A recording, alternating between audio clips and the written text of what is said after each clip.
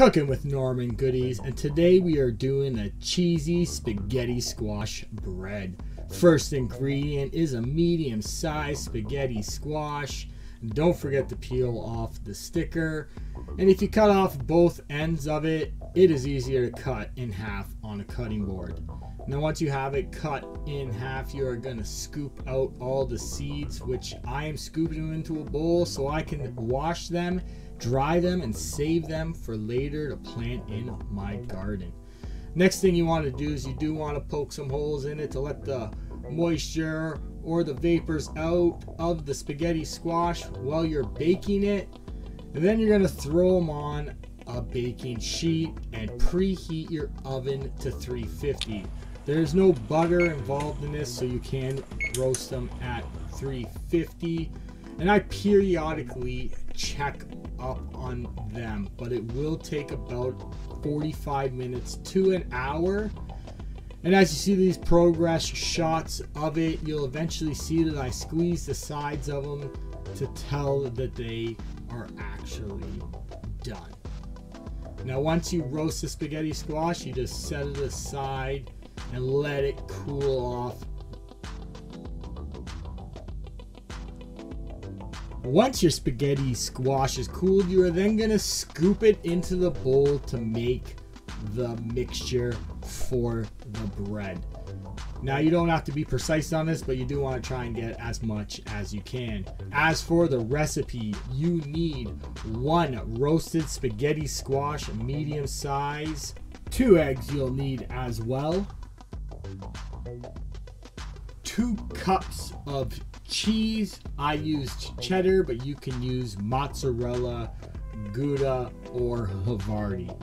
You need one tablespoon of pink salt and black pepper, one quarter cup of tapioca starch, one teaspoon of garlic powder, one tablespoon of Italian seasoning, and one cup of Parmesan cheese. Now, I should have measured this out in a cup, but I just did it from the container. Three tablespoons of butter melted over a double boiler.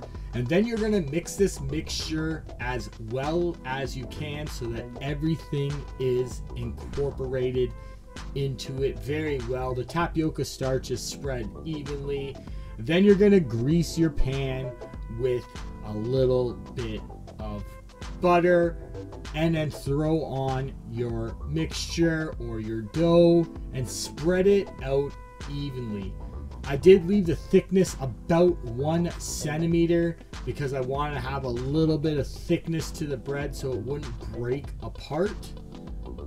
And once you've spread it out evenly on the baking sheet, you can place it in the oven, but you must remember to turn down the oven to 300 because it does have butter in the recipe, and you will cook it for 30 to 40 minutes.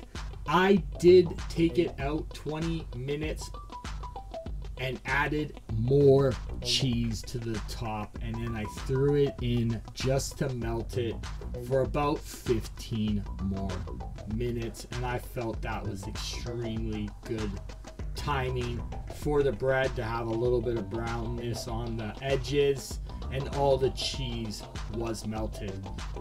Then you're going to transfer this to a cutting board, cut it into the pieces, and then serve it with your favorite pasta dishes. And it's an excellent, excellent replacement for cheesy garlic bread.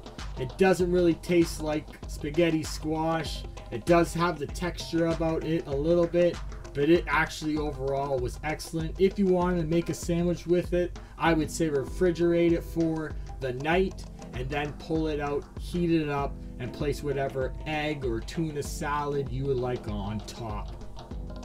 Thank you and enjoy. And don't forget to grab yourself a copy of Dr. Wallach's Cooking Without the Bad Foods. It is a traditional cookbook that has been rewritten without the bad foods, especially gluten and no oil. It is 300 pages jammed with recipes and a great textbook to follow. And don't forget to check us out on Notus Foods on Instagram, where we have tons of content You can ask us any questions and we will get back to you as soon as we can. Thank you.